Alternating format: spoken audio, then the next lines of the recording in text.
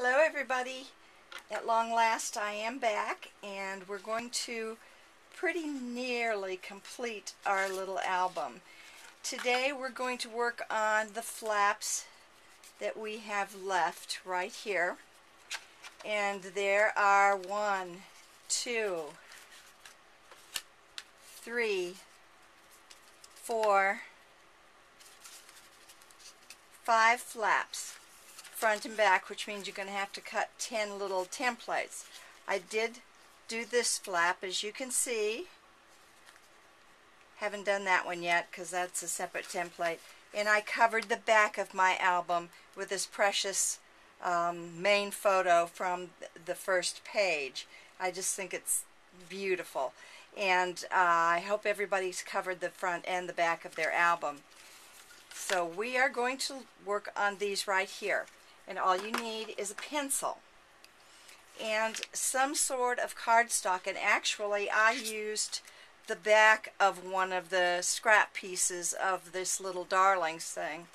And it measures four and a quarter this way and then cut one and a half uh, in height.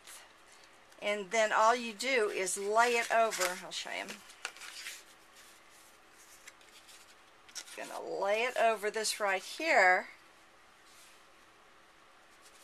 See what I'm doing? Wait a Lay it right over there and you will pencil around this part here and this part here and then cut it. So you have a nice template to go by. And using this template you can cut um, your uh, the rest of your pieces and we need to cut 10 you can cut any pieces of 10 that you want. They don't need to match the page if you don't want them to or they can match the page. Like this has the butterflies on it. If you want you can uh, cut from the butterfly page. This one here um, I thought I would use this bird's nest. I kind of like it and I kind of like this rose. So I'm going to go ahead and trace around the bird's nest. And all you have to do is take your pencil. Oops, try not to. Of course, that's just the template anyway. Can't see too good. Might have to use a pen. Alright. Take your pencil, trace around. There you go. Hopefully this is the right measurements. I have been sick with bronchitis. That's why I haven't done any talking lately. Because I, I couldn't talk without... Ew, I don't think I've marked this hard enough because I can't see what I'm doing. Wait a minute. Let's try with a little bit more pressure. There we go. Much better definitely put a little pressure on your pencil so you can see where you're supposed to cut. And as you can see, you just cut around. And it's easy enough to do. And when you're done, you just stick it on there. Um, there is a hole. Okay, there's that one.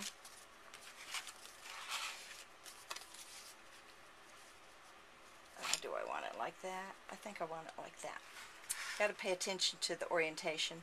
But there is a hole right here, so um, you might want to mark that hole because we may do something with that. So stick a little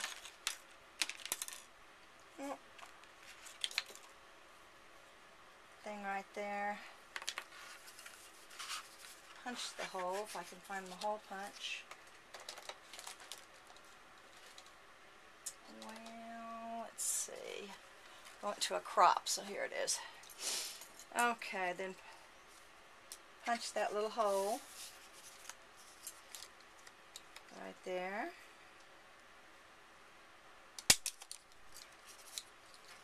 Come on here. And that way, if you want to tie a ribbon or whatever, you've got your hole. There you are. Okay, and um, as usual, I'll put a little distress on it just for the fun of it. I'm about distressed out with this ink pad, but that's alright. Okay. Oops, knocked my glue thing down. I don't think I'm going to need it anyway. Then take your ATG and get it pretty well coated. And right there, line up your hole that you have punched. And if you have to even it out again, that's fine. It doesn't matter. Okay, and there's there's your first little flap. And it does not matter if they match because you're going to mix them up anyway. Okay, now you've got to cut one for this. And I actually have one already cut for this. This cute little baby right here. So I'm going to put him right there.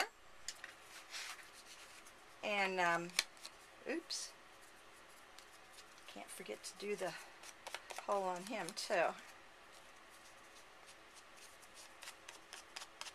I don't, I'm not sure what I'm going to do with the holes yet, but probably something, so. I'm a little rusty.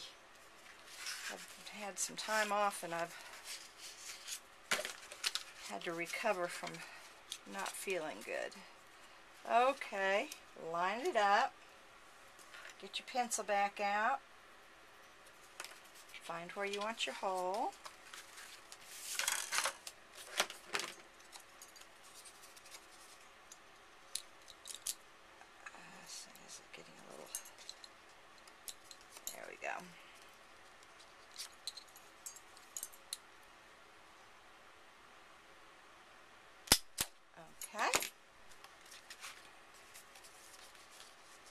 Turned out good. So we'll tape him on there.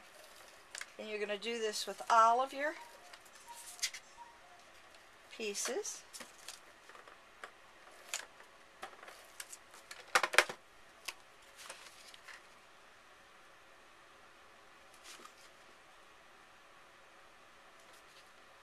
Oh, perfect. Okay. So there you are with that one. And uh, that one is complete. Now let's see, do I want the butterflies with that or do I want these flowers? I think we'll go flowers. I've seen enough of the butterflies.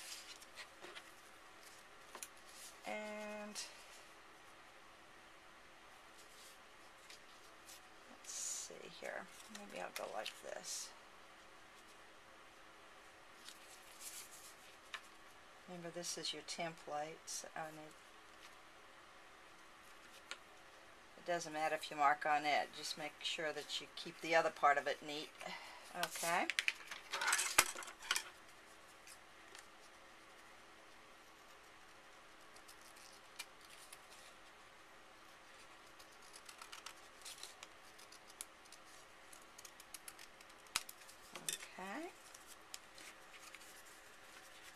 The little flower, the little skinny leg there. Not sure that's good, but it'll it'll do. Probably was going to do this one. I was going to do this one. I'm going to go back and do this one because I got the wrong bunch of flowers. Uh-huh. I thought that didn't look right with that little scrawny leg there. Okay. I don't know that this one will be that much better, but this was the one I intended to do originally. And, you know, when I finish this, I'm going to have a lot of paper left. I think this paper's pretty well used up, though. Um, because this was a small album,